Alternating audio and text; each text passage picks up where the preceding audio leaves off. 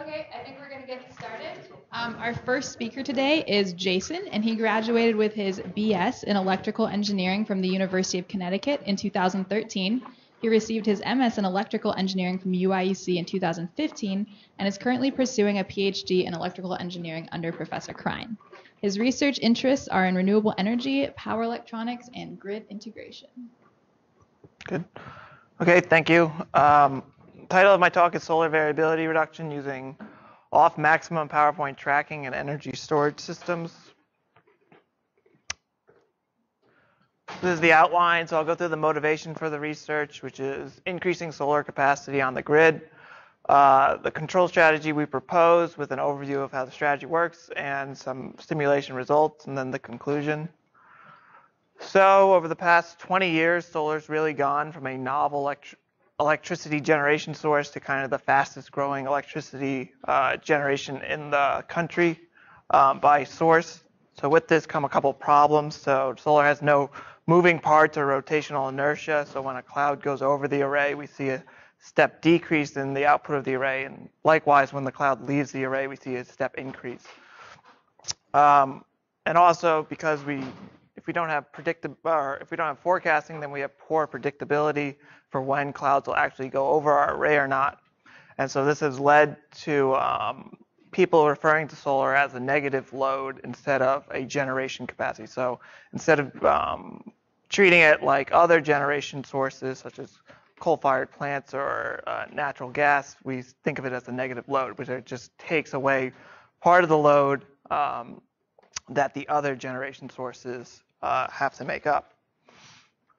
So as you probably know, PV arrays track the irradiance profile. So if you have a clear day, then you get a clear energy profile throughout the day. But you can also have a partly cloudy day where you have clouds constantly moving on and off your grid. And then this, of course, imposes large power transients on the output of your array, which have to be absorbed somewhere. So you can either absorb them on the grid side or on the array side.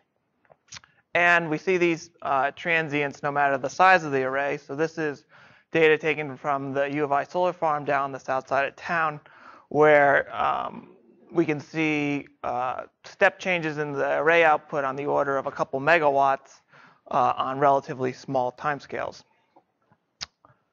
So the variability in the array has to be handled somewhere. So if we handle it on the grid, um, which is traditionally what's been done, where you just assume the spinning reserves of the grid will uh, handle the transients.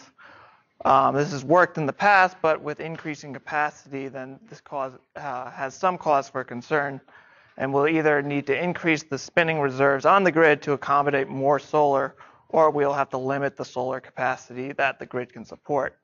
On the other hand, if we rely on an energy storage system to absorb the transients, we have to size the energy storage system to be able to absorb pretty much the max transient that we expect out of the array.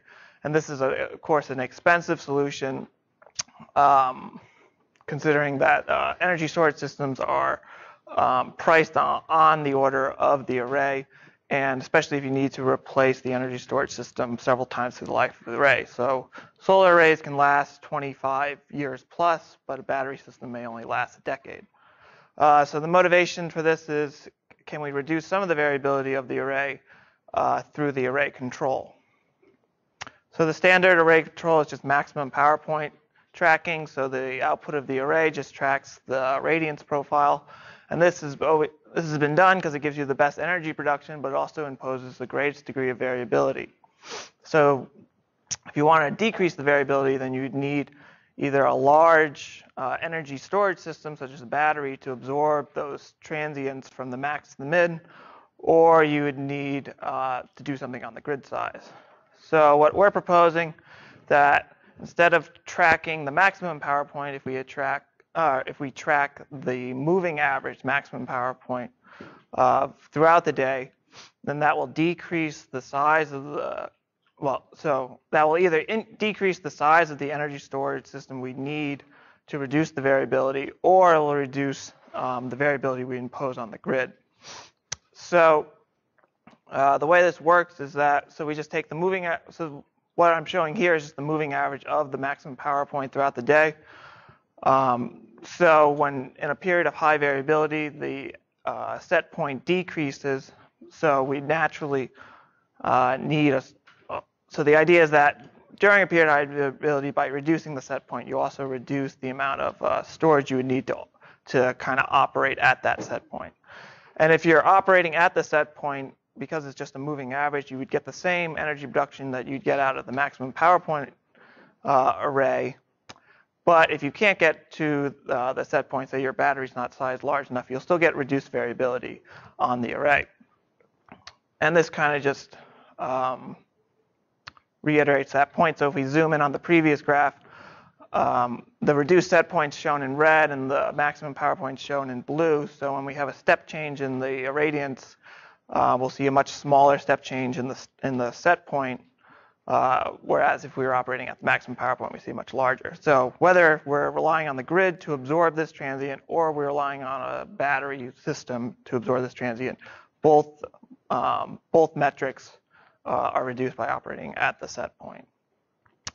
So we can implement this control pretty simple um, using a low pass filter and some curtailment value, this, this gain right here, C, um, where we just take the low pass, uh, we just low pass filter the maximum power point and then times it by the curtailment to get our set point. So the curtailment value is a tunable parameter that we're using here that we can relate to either the size of the storage we have on our system. So if we have a small um, battery pack, then we'd want a large, or then we'd want to curtail the set point um, such that we don't, uh, such that we can actually reach the set point. Whereas if we have a larger uh, battery system, then we can be more aggressive and operate closer to the average output of the day. Um, uh, yeah, okay. So setting the gain, so we don't want to just set a constant curtailment value throughout the day because then that could cause us to have bad performance during various times. So if we have too high of a variability, too high of a, um, or if we have a, basically no curtailment, so a curtailment value of one wouldn't curtail at all, um, then that could cause us during periods of high variability to inject too much, um, either to rely too much on our storage system or inject too much uh, variability onto the grid.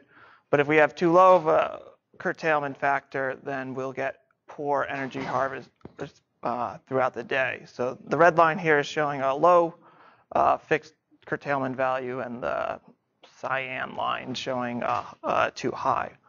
So what we propose is that you use an adaptive curtailment value um, that will change throughout the day. So we're calculating so one way we found that you can calculate this adapted value is to look at the difference between your maximum power um, point and its low pass filter component, um, which is uh, I'm uh, naming the PDIF, and that's shown there on the right. So when PDIF is positive, that means our maximum power point is above our set point, so we can just operate at the set point using the inverter with no battery. So we really only care when PDIF is negative, because that means um, that would have to either be made up uh, by uh, the battery or that would be uh, basically the variability we're injecting on the grid. Um, so if we, but if we base our curtailment factor on this rapidly changing values here, then we'd be changing our set point too much. So we propose taking the average of the, the PDIF and using that as a gain value for our curtailment factor. So the idea here is that during um, a period of high variability, you'll accumulate this error um, much more than you would during a period of low variability. So it's like during this period, it wouldn't be really be beneficial to um, decrease the plant uh, set point too much and stay there since the the period's only short. But for this one, you want to de- keep decreasing um, since it's a much longer period of variability. Um, and then this K parameter is again another tuning parameter that we can base on either the size of our battery storage or of our energy storage system or on the cost of variability. So if we are getting charged for the amount of we inject onto the grid, then we may want to be better off uh, curtailing more than if we uh, curtailing more to offset um, what those penalty costs would be. So we can implement this in simulation using a variety of energy storage systems, but the simplest is just to use a battery model Uh, so here's just a linear battery model and some datasheet values where the key takeaway from the datasheet is that we're limited um, by the maximum power that we can get out of our battery. So when you're dealing with variability reduction, uh, the important thing um, out of the battery is how much can you actually offset with the battery. So even if you had a large capacity battery, you can only offset about half of its capacity um, with its power output. So which would correspond to a C rating of 0.5 C. So this is just the simulation of the previous day at different battery uh, sizes. So when we don't have a battery at all, so when the, the battery size is zero, then we're mainly relying on our curtailment factor to offset the variability throughout the day. Whereas when we have a larger battery, then we can use, um, we can be more aggressive and operate closer to um, just the average maximum power point throughout the day. So here are the the energy efficiencies in relation to the what we would get if we just operate at maximum power point throughout the day. So of course the the best you can always do out of an array is operating at maximum power point, but with this one um, we're getting much less variability. Um, so just a note, uh, with this system, since we're operating at um, an average value, we're spending as much time above the set point as we are below it. So charging the battery is pretty simple in that whenever the maximum power point is above the set point, we can just um, operate the or operate the PV plant above the set point to charge the battery. So you, it's basically just because we're following the average that charging isn't really an issue with this uh, with this strategy. So uh, if we want to look at the, the variability reduction, so there's several methods to use to look at variability reduction in solar arrays. One of them is ramp rate detection. So ramp rate's just the change in power versus the, cha uh, the change in time defined here. Where in solar arrays, um, the literature is kind of proposed, or a couple utilities have proposed in the literature that we can limit our ramp rates um, to below 10% of the nameplate capacity per chain per minute. So basically, the solar plant doesn't change by more than 10% per minute. Then um, that will be kind of the, the goal of operating uh, solar arrays for the the present uh, present case. So one way to uh, look at variability reduction is to see how many times we actually violate this limit and then just do a simple event count uh, here, shown here on the right, um, where operating at maximum power point, we have the most event counts or the most ramp rate violations, and then using this algorithm, we can see we have much less variation in our plant um, as determined by the ramp rate. So even though, so the trade-off here is that we're losing some energy um, in terms of energy harvested from the sun, and we're increasing our costs by using a battery system, but we're reducing our variability uh, significantly. So the idea here is that uh, right now, where variability is not really penalized on a solar array, this is not really an economic uh, approach. But in the future, if we want to keep adding solar to the grid, then the cost of variability or what, whether we're penalized for it or whether we're not allowed to have a array will begin to offset this. So we're going to be moving from an array that's just always producing as much power as it wants um, or as much power as it can to an array that's producing a more uh, uniform power output. Uh, so if we extend our uh, simulation results from the day to uh, a one year irradiance or to one, uh, to one year, um, this is what we get for our energy harvest. So obviously, as we increase our battery, then we can operate closer to that uh, average set point, uh, and get closer to the maximum power, to the energy we'd get if we operated the system at maximum power point. But we still only get, we still only lose about 14% by operating um, with no battery at all. So this would be the worst case in this situation. But then if we look at the energy, the variability reduction, we can see that we um, get good variability reduction even with no battery. So we only have 16% of the uh, event counts that we'd have uh, when we operated the array at maximum power point. So it's still um, it's basically almost a one to one. So you trade 16% power to get 16%. Uh, you trade 16% power and you get. Oh no, that's not one. It's one minus. So uh, for 16% power trade-off, you get 16% of the variability. Um, so this is just kind of a summary of the two previous slides. Um, so we have the energy harvest in red, um, the variability reduction in black, and then the projected system costs in blue and green. So the green is if we have to replace the battery at 10 years, um, we obviously would increase the, the cost of the system. Um, so, and all this is normalized to the array at maximum power point. So that has the array at maximum power point has an energy harvest of one, a variability of one, and an install of one. So we just normalize everything to that array. So we're still working on actually putting a dollar value to um, variability. Basically, how does how much can I charge or how much can I get if I operate my array at a reduced um, output, but I have a much more uniform array. So um, until we get there, we can just use this simple weighting, weighted cost function um, where we're relating the energy um, produced, the energy produced per unit cost with the variability. So this weighting factor x just determines what we're putting our focus on. So if x is 1, um, then we only care about uh, the energy produced in the system um, whereas X is, say, 0.5, then we care about both the energy produced in the system and the variability reduction.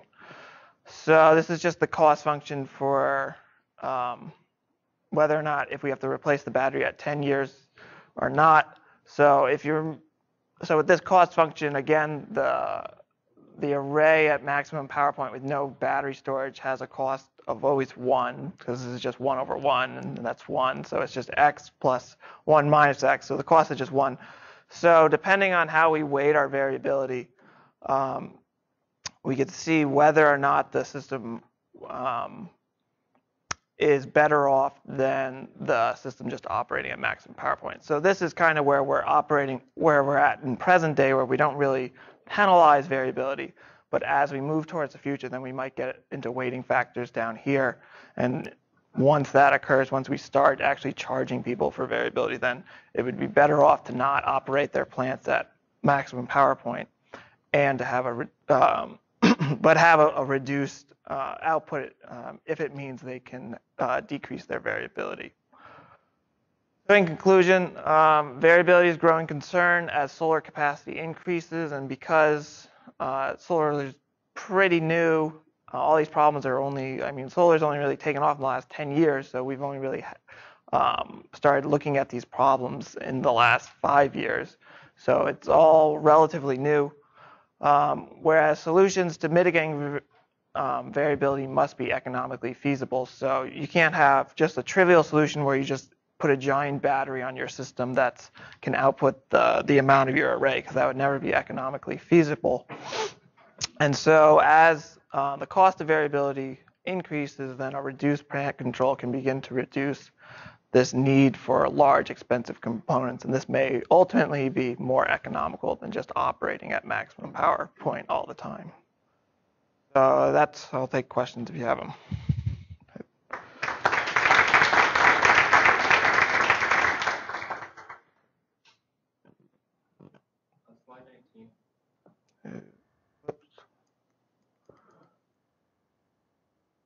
Clarify, is this taking into account the duration of the, like, the disturbance? So if, if the ramp rate is, is what you're counting, but is there any waiting for how long it stays low?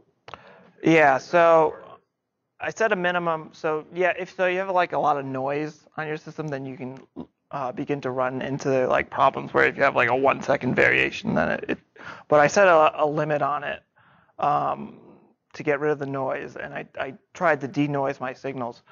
Um, to answer your question, no, uh, it's not necessarily all these time periods are greater than a minute. So say if you if you switch 5% in 30 seconds, that would be a ramp rate violation.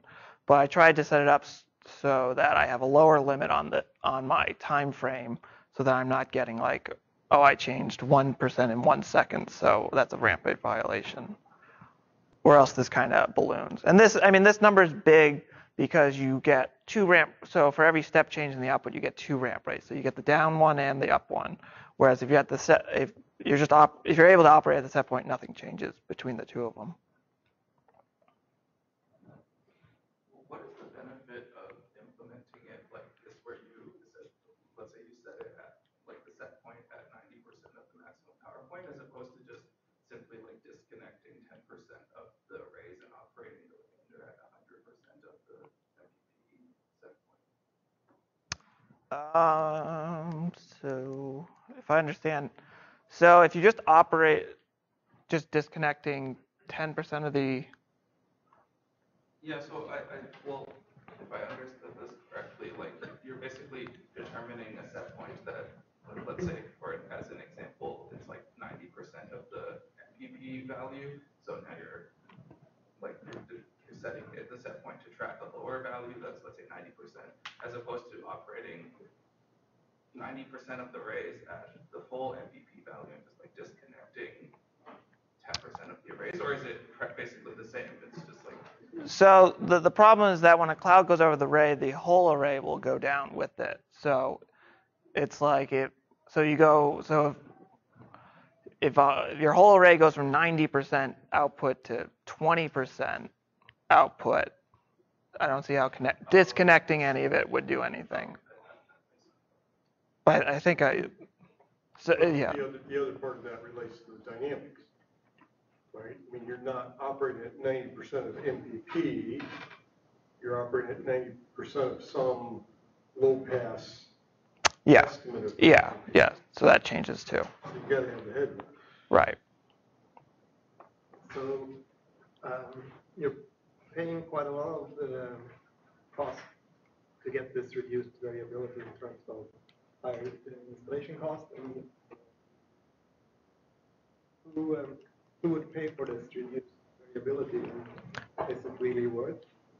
Well, that's kind of that's kind of like the, the the big question is where does this variability get paid back? And so um, that's kind of what we're trying to quantify now. So if if utilities start penalizing solar arrays for being too for having too much variable, then that would get factored in. Or if say they could say you can't have an array on our grid anymore because our grid has too much solar, then you have to quantify the, that opportunity cost of if I want to put an array or not. So it's a difficult. And then there's other things like there's there's um, there's equipment wear and tear from having your your voltage regulators bouncing back and forth um, throughout the day when you have a lot of variability. So it, it's a difficult um, thing to quantify. Um, but that seems to be where it's moving towards in terms of regulations and laws. So um, I think several uh, utilities, maybe in California, have started putting in ramp rate kind of controls on their on their systems.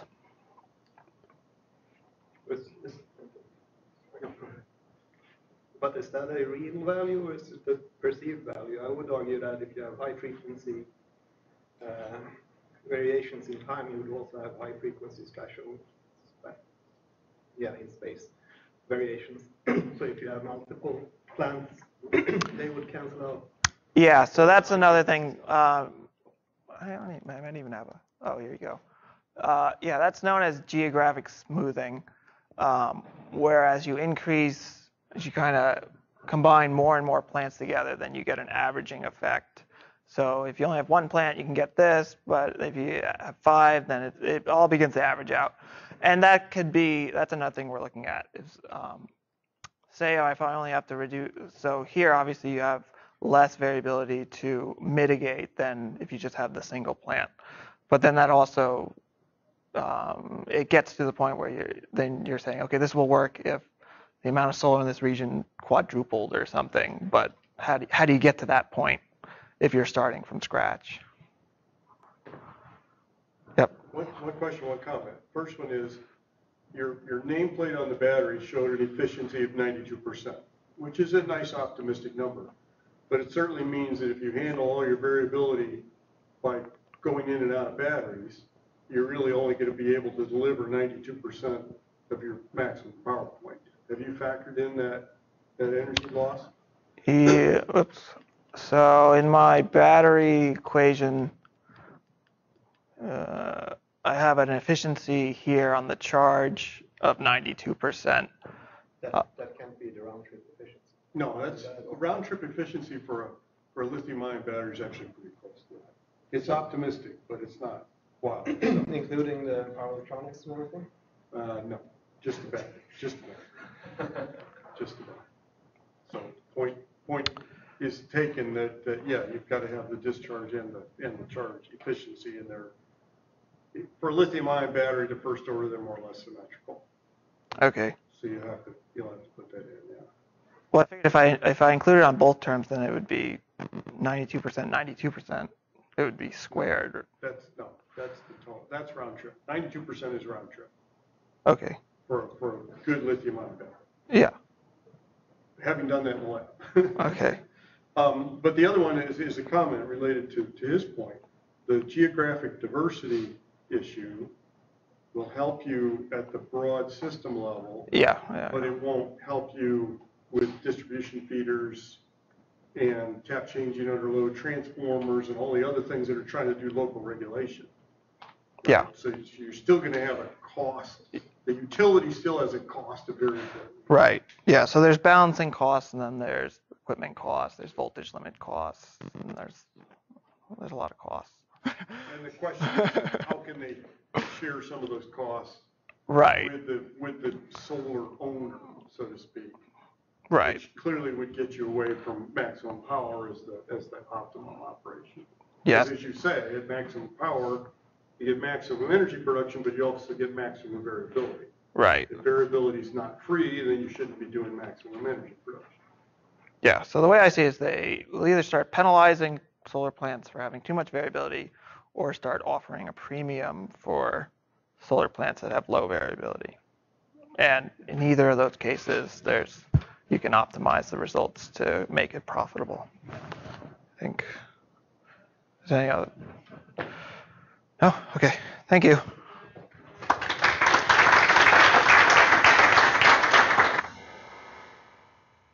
now a small wire, runaway, right, Tom? Actually, don't run away. Don't run away, stay, stay. There will be pizza at the IEEE PSPLS Oh, election. I have to give- So, um, Yeah, so our next speaker is Kathleen, and she earned a BS in electrical engineering from the University of Nebraska Lincoln. She is currently finishing up her MS here at Illinois and then is headed off to Boston to start her career at IBM. Outside of school, she loves biking, eating vegan food, and admiring beautiful sunsets and sunrises. Heck Without yeah. further ado, here's Kathleen. Thank you. This thing was not made for buttoning on this side. It's made for buttoning the other way. That's a fun fact. Okay. Do you want me to get started or wait? Doesn't matter. Okay. I you're fine. Um, okay, so my talk's going to be about PMU data visualizations and how they can be used to help improve operation of the electric grid. So to start, I wanted to provide an overview of the electric grid, which you all know about. One, because it provides a nice segue into why PMUs are needed. But two, I was feeling a little nostalgic since this is my last presentation as a grad student, so wanted to throw in some fun facts that I have learned along the way that you all might find interesting. So in 476, this is where my great aha moment came. Professor Overbye said, the North American electric grid is divided into four regions that are called interconnections. I was like, oh, that's so cool. And each of these operates pretty much by themselves, um, asynchronously, as Professor Sauer likes to point out to me whenever I talk about this. And they're only connected through these high voltage DC tie lines. So between the western interconnection in green and the eastern interconnection in blue, you have six of these DC tie lines. Up north, between the Quebec interconnection and the eastern interconnection, you have four DC lines, DC lines, and a variable frequency transformer, which I haven't yet looked into, but now that I know it's a thing, I'm going to look that up. And then between Texas and the eastern inter- interconnection, you have um, two DC tie lines. So then, when he first posed this to me, I was like, okay, so how do utilities then fit into that picture? And his answer to me was, well, it's complicated. I said, well, thank you. Um, which is true, but I wanted to know more. So I dug into it And I found that there's lots of layers to getting from the interconnect down to the utility level. So that starts with these two overseeing bodies. You have NERC and FERC. The North American Electricity Reliability Corporation is responsible for making sure the grid runs as you would expect. So the operational side of things, planning, making sure the physical infrastructure works. On the other side, you have FERC, at least in the United States, that monitors the markets. So I am not a markets person, that is something else, but I want to touch quickly on the operational side of things that NERC handles. So NERC defines these 18 roles that an organization can have. And this is where Professor Overbye astutely noted that it gets complicated. You can have an organization have, be in charge of one of these or multiple of these. And the ones that I want to just touch on are the reliability coordinator, planning, uh, excuse me, balancing authority, and the transmission operator. So first, this is like your highest level of operational structure, and that's your reliability coordinator. And they're in charge of making sure everything within an interconnection is running as expected. Things are, uh, equipment is being run in such a way that it's inside the limits that they're defined to run in. And you have each of these organizations that have registered with NERC and said, yes, I'm going to do my job as a reliability coordinator. And these are those entities. So Texas is both an interconnect and a reliability coordinator. Then you have these various ones spread out through each of the interconnections. Then the next level down, you have the transmission operators, so your RTOs and ISOs. And these do somewhat the same job of a reliability coordinator, except they do it on a smaller scale. So they're just worrying about their region, making sure everybody that's in their area is following the laws of the land, making sure the equipment is running within the limits that have been defined. And they're not as concerned with looking outside of their area as the reliability coordinator is.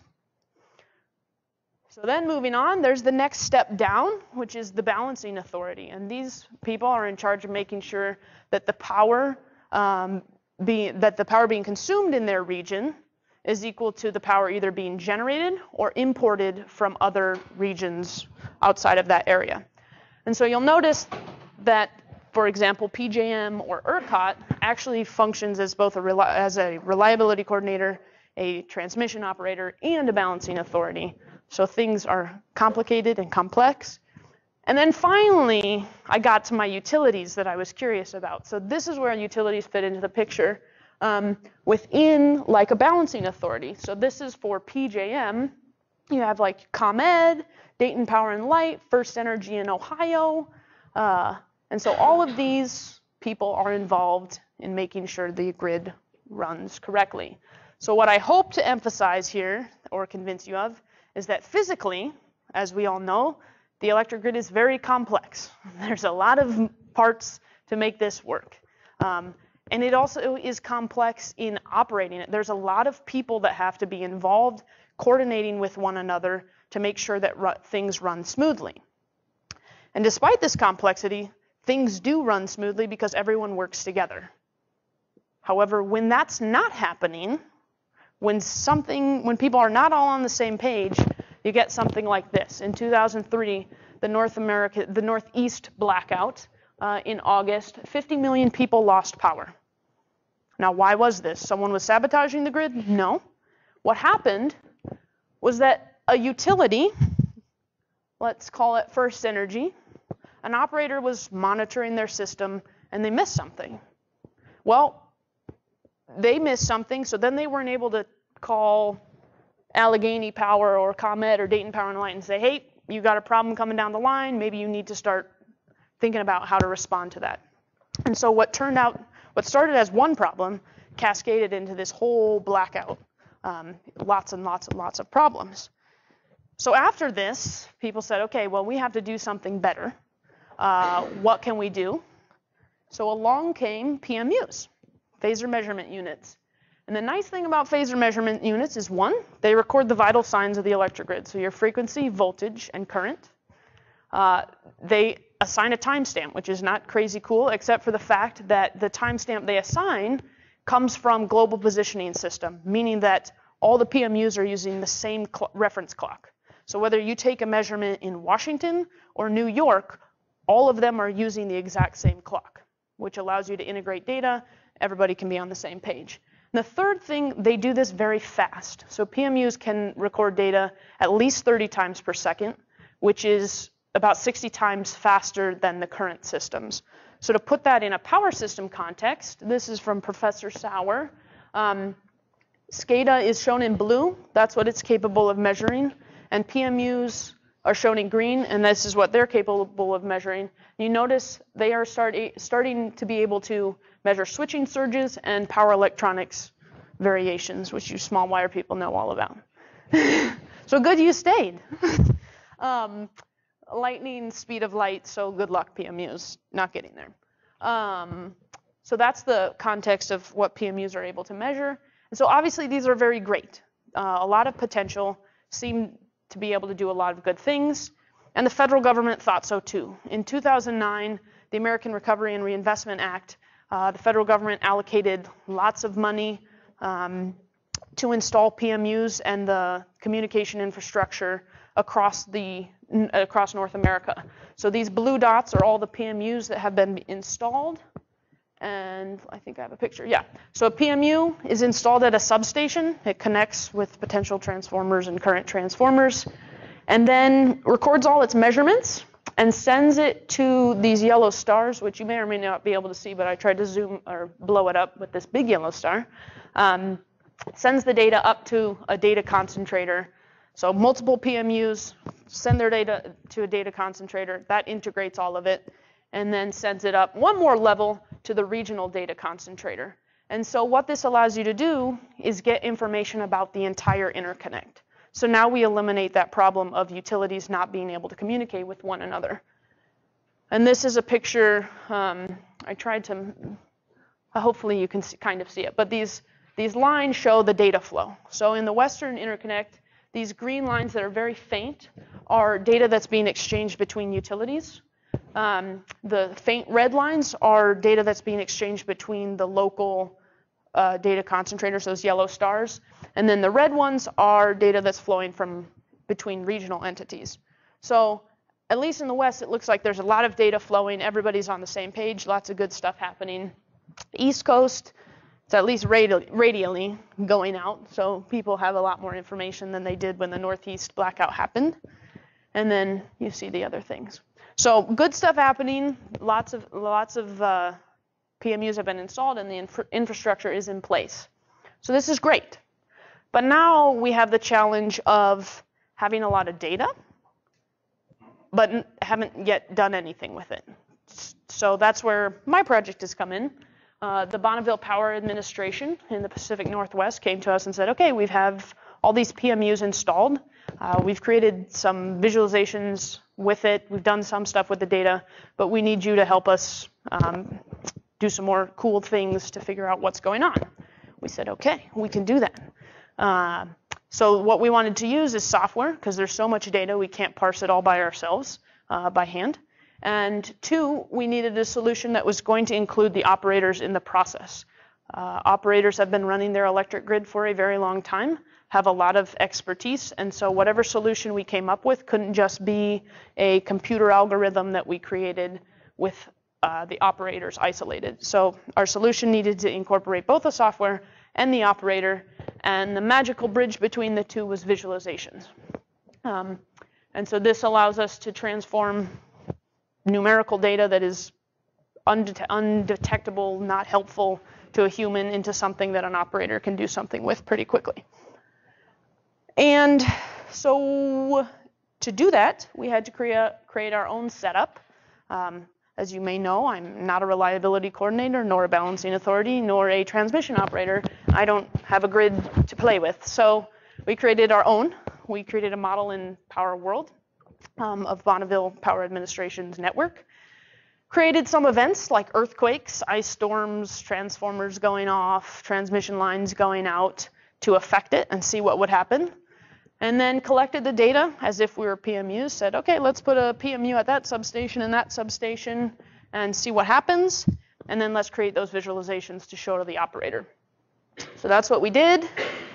And just as proof to show you I did actually do something, This is for an ice storm scenario, which I said, okay, let's assume we have transmission lines up here in northern Montana and Idaho being knocked out due to an ice storm. So rain or whatever, ice builds up on the lines, they get heavy, fall to the ground, problems.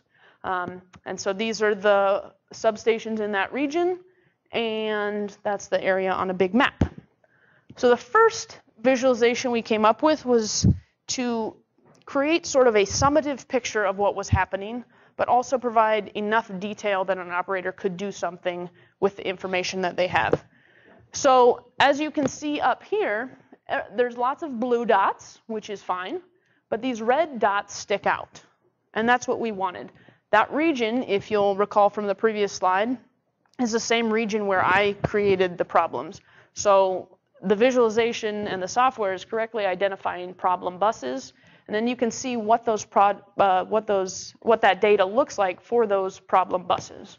Um, voltage angle is somewhat helpful, but what's easier to detect over here, you have a green, which you can't see from back there, and I apologize for that. Um, you have a green marker here that corresponds to this green line here that says, oh, something, the voltage is dropping to zero. So either a bus is disconnected, a transmission line is disconnected, or there's a transformer taken offline.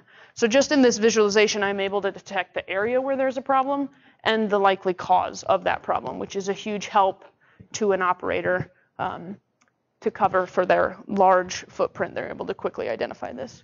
Another visualization we came up with um, was to play on taking the first derivative of the measurements.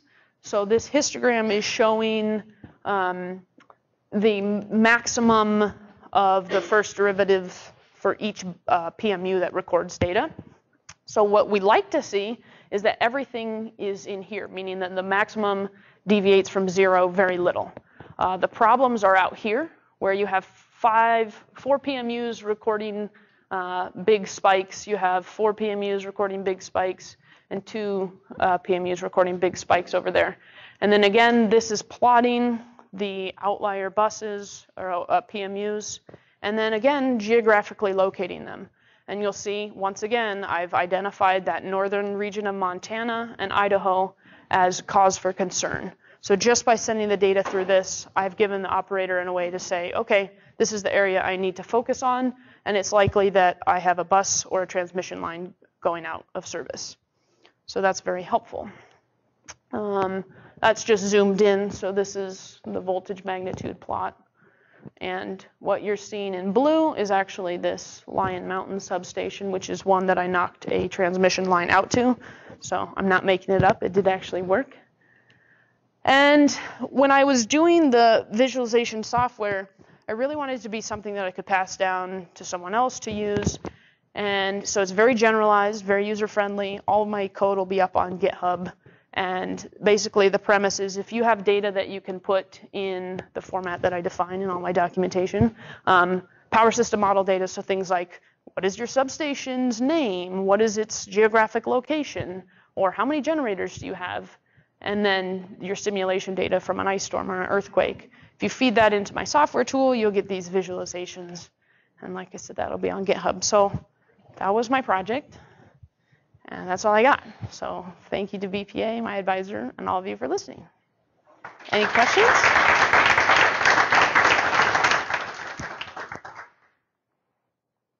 Questions? Oh, I also have a 515 book.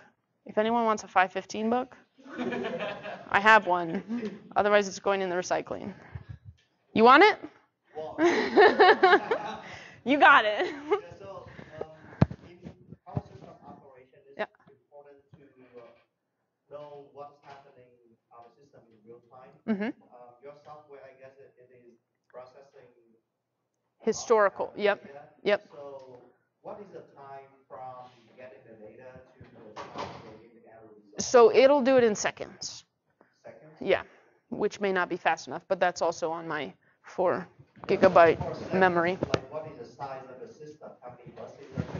So this, yep, that's a good point. So this is for uh, 1,500 buses, and uh, one of the ways that you could reduce the amount of data you're processing is just shrink the window of time you're looking at um, and just throw away the old data as you go. But that's definitely a concern. Um, what are the uh, computing resources you have to do these calculations? Yes.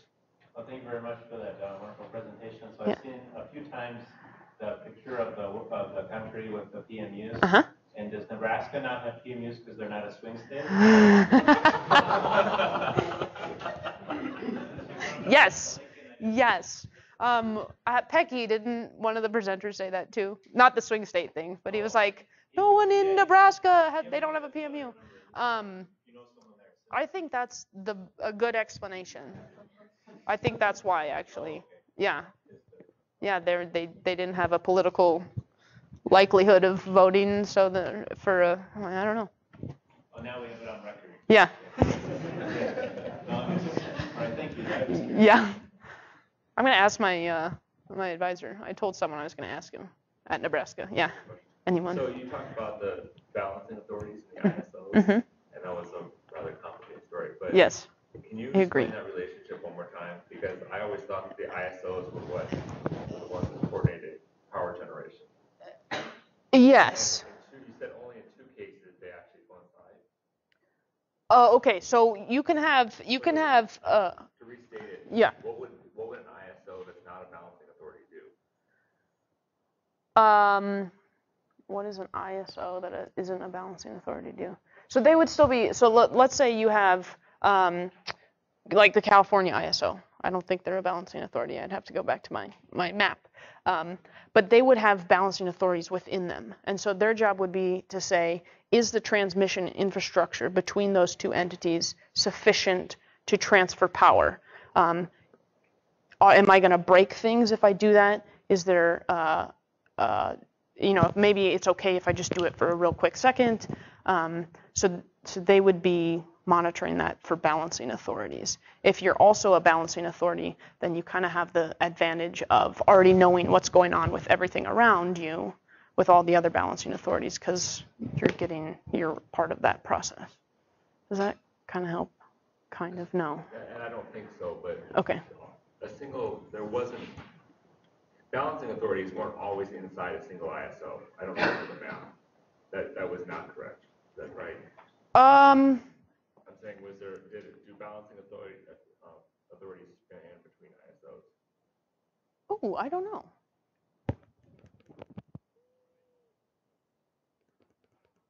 They would need, well, I don't think so. They wouldn't have to be because there's some parts of the US.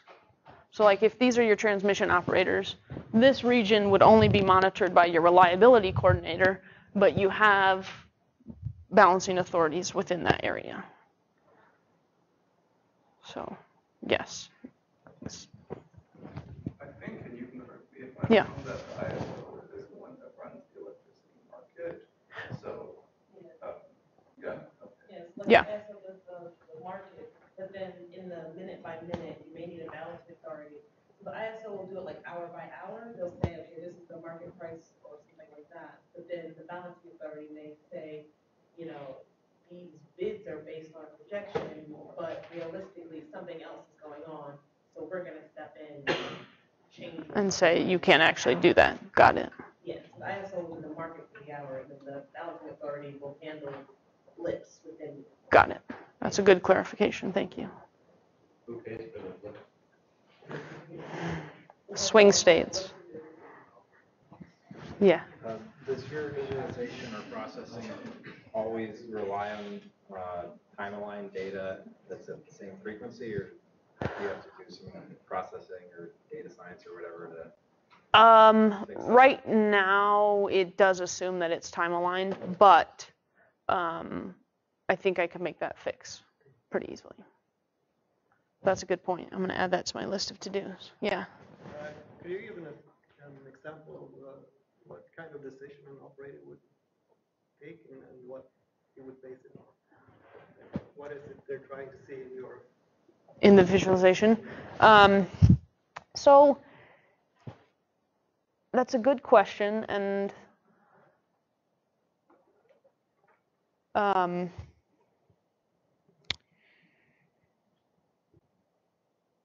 what comes what comes to mind is when talking to the uh, people that I've been working with and then reading the papers on it. Right now, the control room is such that if there is a problem happening, there are alarms going off like crazy, and uh, within that, operators aren't really able to understand what they need to focus on most, and um, so in this case, by just having this visualization, they can quickly identify it. Didn't have to set off, you know, thousands of alarms, maybe just one or none. They can quickly see this. And then um, maybe they just need to dispatch someone to go check the transmission lines or um, retry the circuit breaker or look at uh, going up to the uh, ISO or to the balancing authority and say, okay, I'm not getting power from this area anymore. Can I get some transactions to circumvent in this problem area?